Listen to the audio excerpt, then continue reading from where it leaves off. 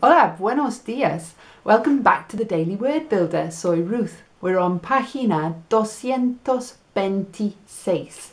And the word, we're starting a new word this week. It's hecho.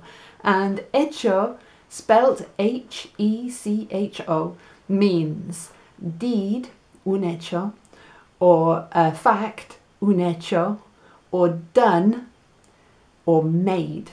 All right, so let's talk about facts first of all. So, un hecho is a fact.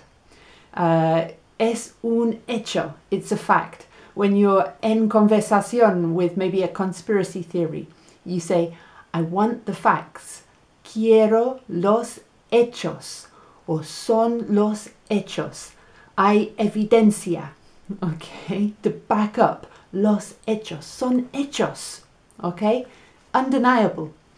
Uh, when you're talking about deeds, sus hechos.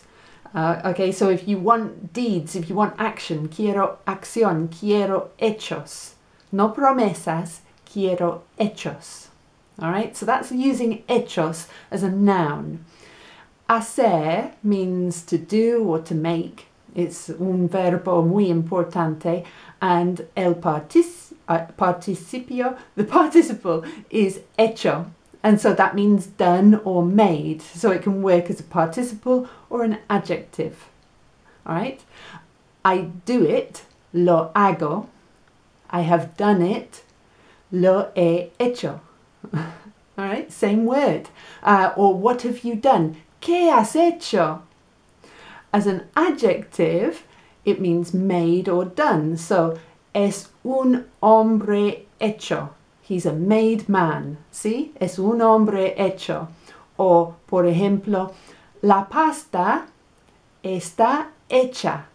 You see, it's going to agree with pasta. so it's going to be feminine. Uh, uh, a little footnote as well. Um, echar is another verb and it means to throw and it's used in an idiom, uh, echa lo menos means to miss. So, uh, voy a te voy a lo menos, I'm going to miss you. So, when we're talking about that with the present tense, it's going to be te echo lo menos, I miss you, and it sounds the same, but the spelling es un poco diferente. Te echo lo menos, echo is spelled E C H O. But what we're studying esta semana, starting today, is hecho, which is spelled H E C H O, and it means fact, deed, done, or made. So, what I want you to do is get a great big piece of paper and make a lovely word web over the course of the week um, with hecho right in the centre subscribe and come back mañana when we're going to be talking about de hecho. Hasta mañana. Adiós.